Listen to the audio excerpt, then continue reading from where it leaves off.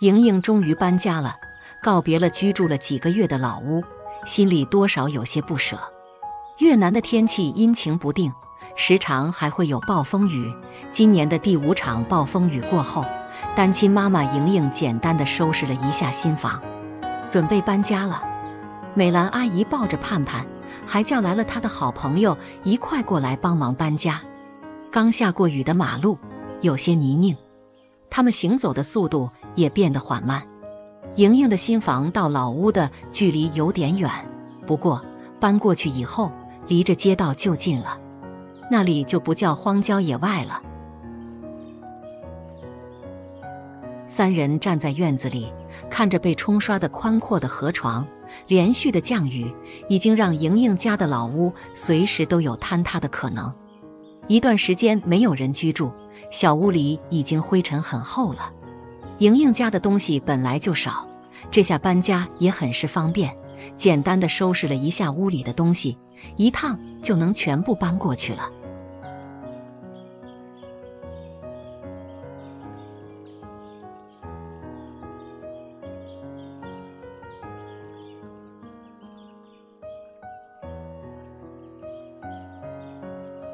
单亲妈妈莹莹是个重感情的人，永久的离开老屋，还让他有些难过。俗话说：“金窝银窝不如自己的狗窝。”家的温暖和归属感，即使物质条件不如其他地方，家的感觉也是无法替代的。这是一家人生活的了几个月的地方，盼盼也是从这里学会了走路。莹莹有些不舍。它不仅是身体和心理的栖身之处，也承载着莹莹一家的记忆和情感。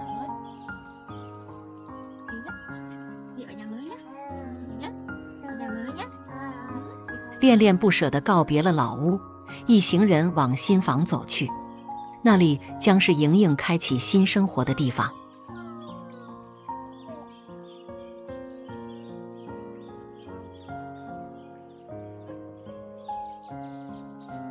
由于路途的遥远，还是负重前行。他们在路旁短暂的休息休息。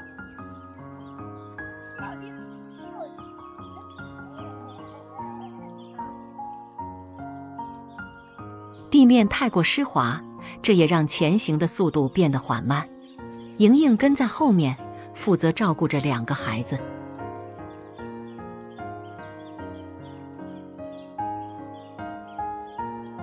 终于，他们到了新住址，这里就是莹莹的新房了。虽然只是简装修，不过也能居住了。四面透风的问题，就要莹莹后面自己解决了。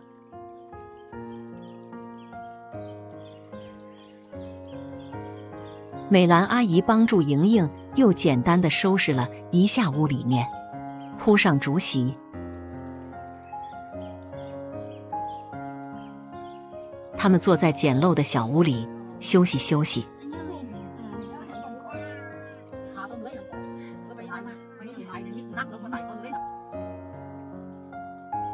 短暂的休息过后，莹莹又来到了美兰阿姨家里，收拾一下自己曾经暂住的地方，顺便把孩子的各种衣物也整理一下，一会儿带回新房子。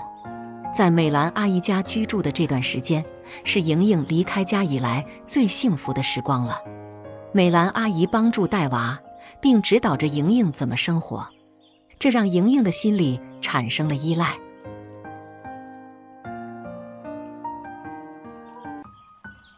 收拾好床铺后，美兰阿姨抱起满月的小宝，稀罕稀罕，嘱咐着莹莹以后的生活。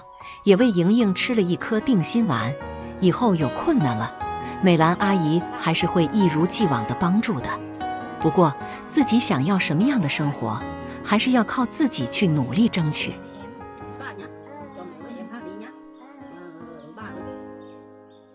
短暂的聊天后，莹莹背着小宝，抱着淘气的盼盼，再提着孩子们的衣物离开了美兰阿姨家。美兰阿姨把莹莹送到门口莹莹再次谢过美兰阿姨后往新房走去。崭新的生活即将开始回到新住址后还有很多的工作在等着莹莹。她没有停歇先把盼盼安顿在婴儿床里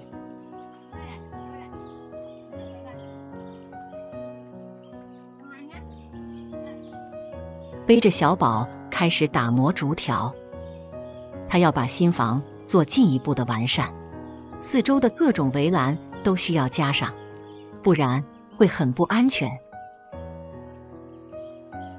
莹莹把熟睡的小宝安放在竹席上，这样自己的也方便干活。莹莹打算去河边清一下各种餐具。盼盼在婴儿床里虽然听话，却不能长久。莹莹只得背着盼盼一起，提着锅碗盘盆的编织袋去了河边，希望竹席上的小宝能一觉睡到莹莹回来。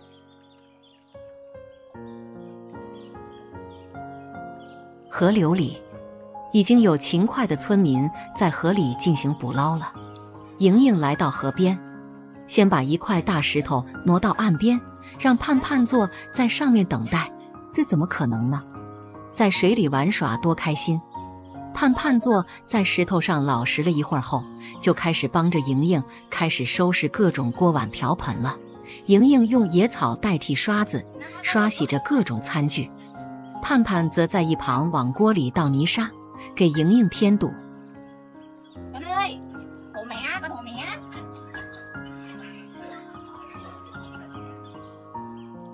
刷洗完了餐具后，莹莹想顺便给盼盼洗一下身上，毕竟新房那里还没有通水，用水不怎么方便。洗完了手脚后，莹莹抱着盼盼在河流里趟水，水下的坑洞让莹莹脚下一滑，母女俩跌倒了。为了不让盼盼落水，莹莹使劲把盼盼托举出水面，身体重心不稳，让莹莹有些手忙脚乱。一番挣扎后，终于在河里站了起来，盼盼也因此吓得哭泣起来。水下各种危机四伏。玩水一定要去正规场所，切不可私自下水。生命宝贵，大家要时刻保持警惕，远离危险水域，确保安全。莹莹母女俩成了落汤鸡，湿衣服要尽快更换，不然很容易感冒。莹莹快速的收拾起餐具。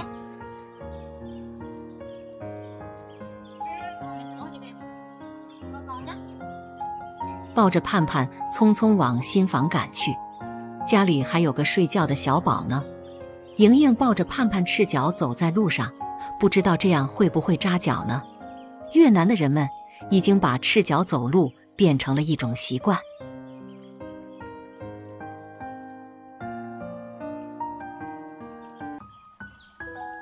竹席上的小宝乖巧的可爱，虽然已经醒了，不过不哭不闹的。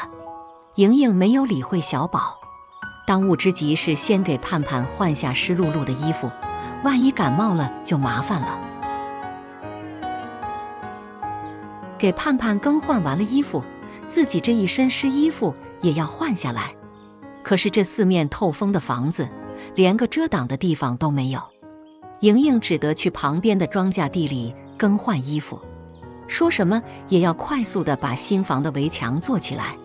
真是太不方便了。娘仨坐在竹席上歇息一下，趁着天色还早，让盼盼独自在偌大的院子里玩耍着。莹莹继续安装围栏，早一点完工，孩子们就多一份安全。暴风雨的再次来临，让单亲妈妈莹莹有些惊慌无措。带着两个年幼的孩子，生活更加艰难了。搬进新房的莹莹，清晨早早的就开始忙碌了。村民们已经帮助她搭建好了房子，不过一些基础的设施还不完善，这就要靠莹莹自己去完成了。莹莹打算先把围栏做好了，这样孩子们在屋里玩耍也比较安全。盼盼站在婴儿床里，看着莹莹干活。昨天的落水让盼盼有些流鼻涕。莹莹先把搭建围栏使用的竹片打磨一下，切割成相同的长度，方便一会儿安装。这会儿小宝又拉了，莹莹又来到竹席上给小宝更换尿不湿。看着小宝一天天健康的长大，莹莹心里很开心。院子里，调皮的盼盼已经顺着楼梯，正在努力的往上攀爬。这里对于一岁多的盼盼来说，可是很危险。还好被莹莹及时发现了，又把他送进了婴儿床里。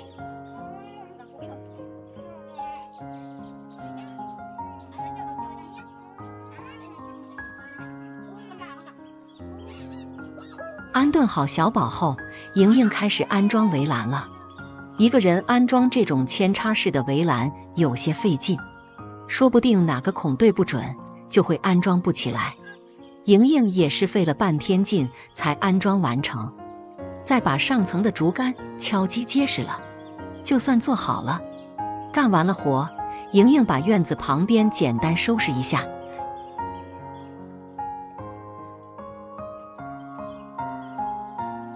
开始下一项工作，他打算在小屋旁边再搭建个厨房，正好依靠着新房的立柱搭建起来。莹莹用竹竿比量了一下尺寸，确定好地坑的位置，开始刨坑埋立柱。盼盼站在一旁看得入神。厨房的结构依靠着新房子搭建，所以刨两个地坑就行了。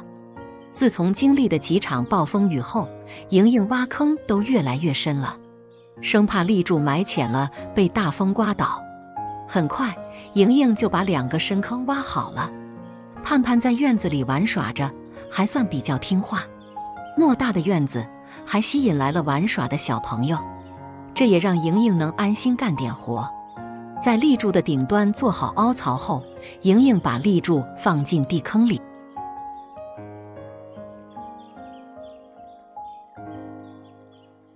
一个人不管干什么活，都有些别别扭扭的。埋立柱连个扶着的都没有，这就是单亲妈妈的痛吧？也许等孩子长大点就好了吧。把立柱周围用木棍使劲夯实结实了，一层层夯实，这样立柱不会倾斜。盼盼在院子里也挺忙，忙着往竹篓里捡拾各种碎石。埋好了立柱后，莹莹把院子里的各种枯枝烂叶收集起来，点燃了。这属于焚烧秸秆了，在我们这里是不允许的。小编觉着留着这些枯叶生火做饭不好吗？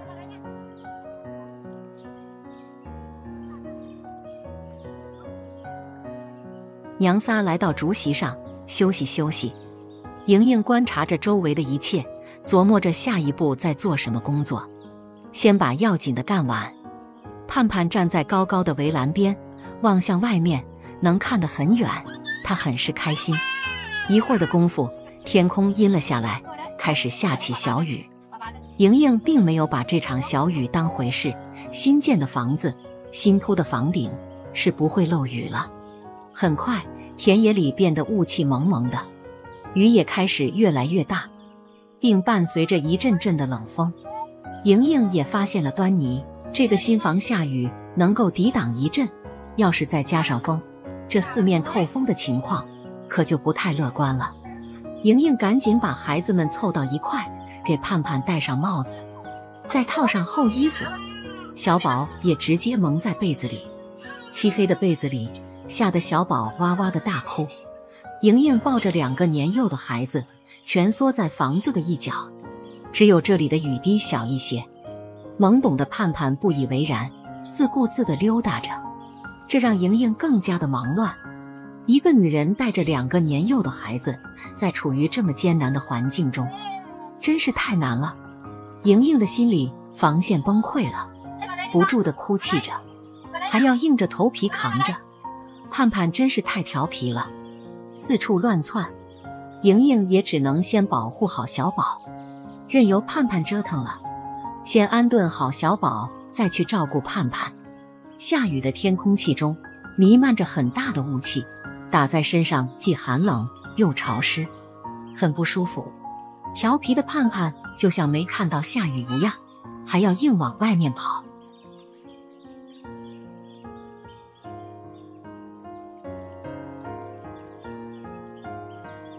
被卡在了楼梯上也许一岁的孩子玩耍是他们的最大的事情吧，不去想别的什么东西。终于，在莹莹的一番耐心教育下，盼盼才安心地待在竹席上一会儿。不过，盼盼只要睁开眼，就没有停下来的意思，很快就又开始一住不住地活动起来，搬吧搬这个，挪挪那个，忙得团团转。一会的功夫，风停了，雨还在一直下，这样莹莹娘仨也终于可以喘口气了。黄昏时分，雨也渐渐小了。莹莹抱着盼盼来到院子的边缘，观察一下水渠里的水有没有影响到院子里。虽然水已经漫过水渠，不过并无大碍。一家人终于扛过了难熬的暴风雨。连续的下雨让莹莹没有时间做饭，再说了，还没有搭建好炉灶，怎么生火？母女俩只得吃点方便面对付一口了。越南的方便面人均消费量占全球第一位，连越南女足出国比赛都必带方便面。虽然不了解越南方便面的营养配比，但这的确是越南女足乃至整个越南国家的习惯。越南人吃方便面有多夸张？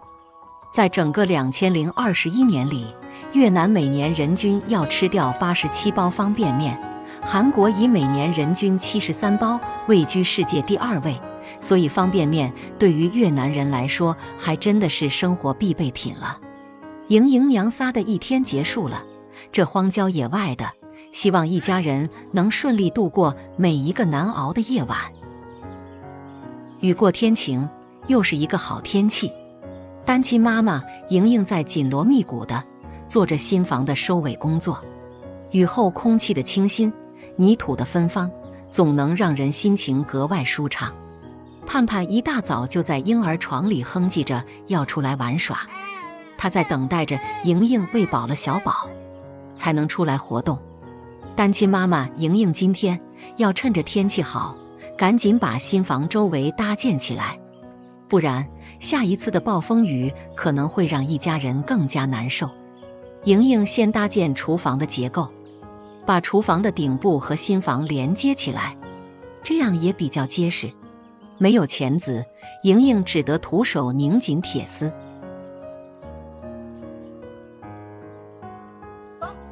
调皮的盼盼又爬上了竹梯，在莹莹一顿教育后，又回到院子里玩耍了。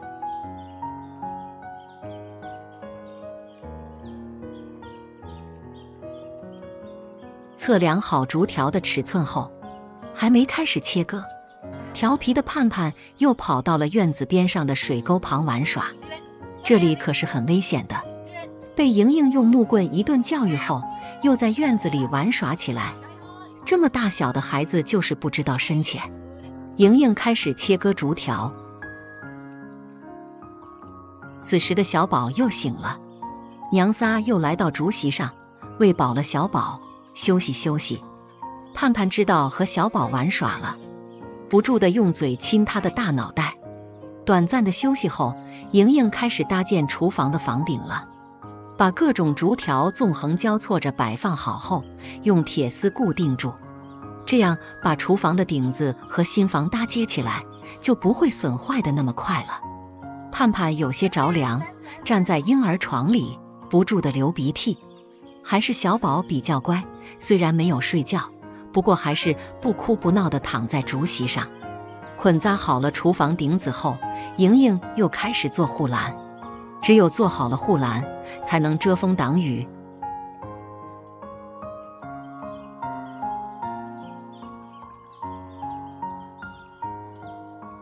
盼盼蹲在小宝身边，没轻没重地逗弄着面目表情的小宝。莹莹用竹条做尺，测量好了各处的尺寸，开始切割竹片，然后把切割好的竹片塞入两个长竹条中间，形成一面墙，这样就能封闭起来了。此时的天空中又飘起了小雨，莹莹赶紧把盼盼抱进房里避雨，将竹条的两端用铁丝固定好，这面墙就算完成了。莹莹给盼盼奶了个酸奶喝着，哄着盼盼不再到处乱跑。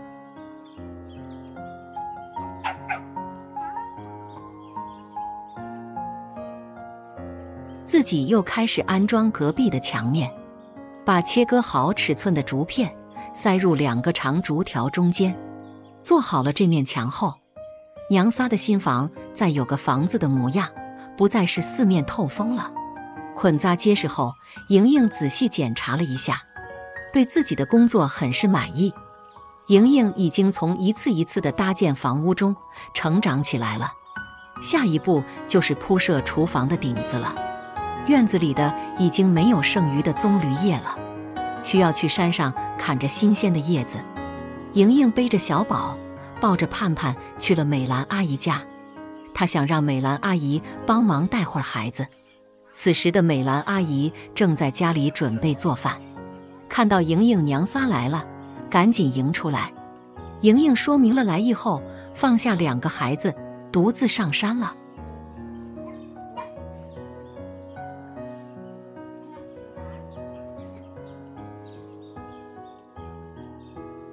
在一次次的与美兰阿姨的接触中，莹莹也找到了依靠。有了美兰阿姨的帮忙，莹莹干活会更加得心应手。很快，莹莹就来到山上。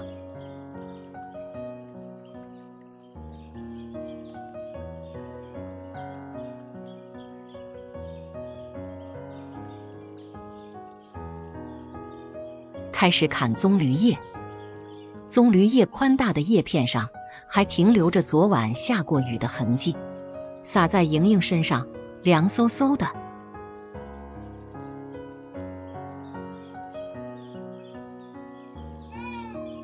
美兰阿姨正在屋里看着小宝，小宝比较听话，不哭不闹的，反倒是盼盼自己玩耍时跌倒了，还委屈的不得了，爬起来哭个不停。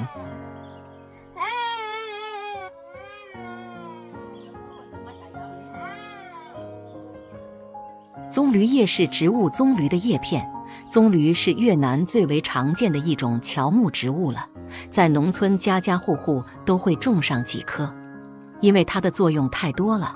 我们小的时候家里用的扫把，大人穿的蓑衣，农村以前防雨用的器具，老人用的蒲扇，很多都是用这种植物制作而成的。莹莹已经砍了足够多的棕榈叶。捆扎好后，开始往山下操作。这么宽大的叶片不便于运输，只能拖着下山了。此时的天空中又飘起了小雨，这么鲜嫩的棕榈叶重量明显不轻。莹莹拖一会儿，背一会儿，使出浑身解数把叶子搬运下山。到了马路上，拖拽起来就轻松多了。莹莹把棕榈叶再一趟趟的搬运到院子里，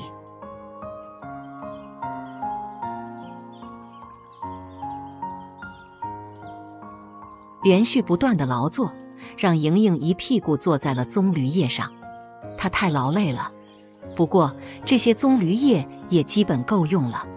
莹莹回到小屋里，坐在楼梯上喘着粗气，休息一会儿，还要去把俩娃接回来。才能开始搭建房顶。莹莹拖着疲惫的身体来到美兰阿姨家。此时的小宝并没有睡觉，躺在美兰的怀里，很是听话。知道莹莹要搭建厨房顶子，美兰阿姨也一块儿跟过来帮忙。一个人搭建房顶的话，会比较麻烦，而且还很危险。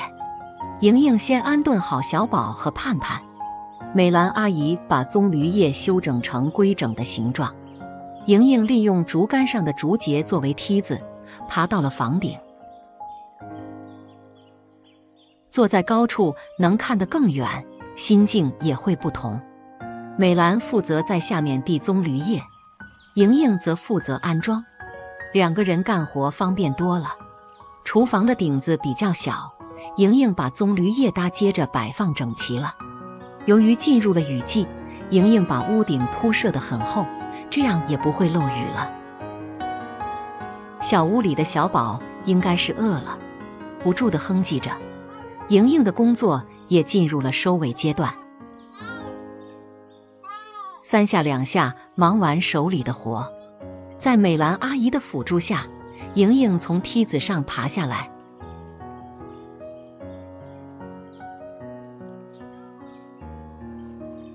先去屋里给小宝喂饭。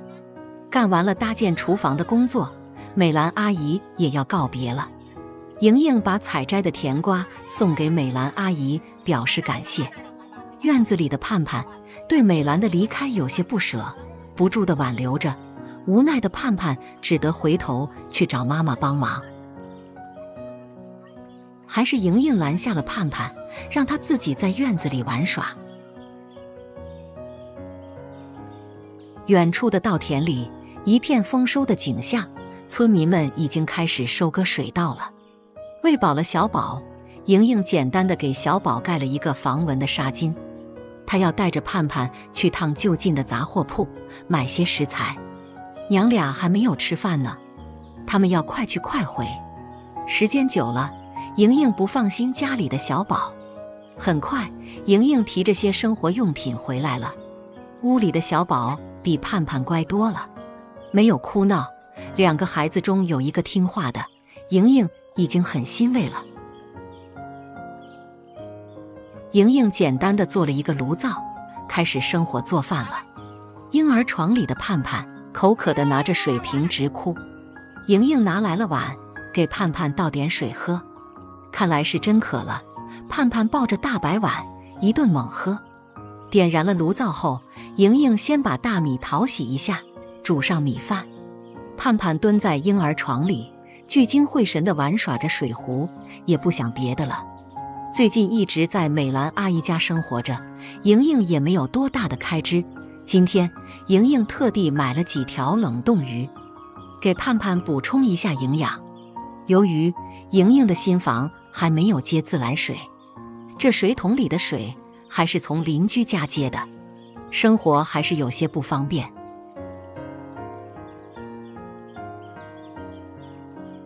收拾好了鱼后，锅里的米饭还没有煮好。趁着这会儿空闲，莹莹和盼盼在院子里玩耍一会儿。米饭做好了后，莹莹开始炸鱼了。倒上油，把清理好的小鱼扔进锅里。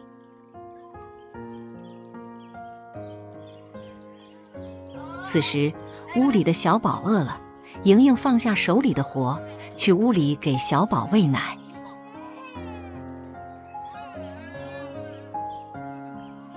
等安顿好小宝回来，铁锅里的炸鱼已经成了炒鱼了。不过不管怎么样，一家人终于吃上了一顿热乎的饭，这也是娘仨在新房生活的第一顿热乎饭，真是太不容易了。不过莹莹今天的成绩很突出，不但搭好了厨房。还做了一面遮风挡雨竹墙，这让单亲妈妈莹莹的新房更有家的样子了。